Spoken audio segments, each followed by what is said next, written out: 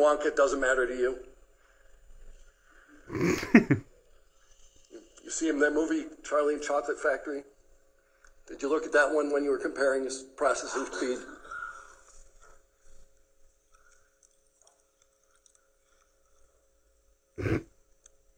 Is, is that, do I have to answer that question, Your Honor? Have to answer questions. Yes, sir. No, you'll be happy to know I didn't see Willy Wonka as a, and I didn't see 21 Jump Street when it happened, or whatever it was about. No, I did not. Hmm. Right.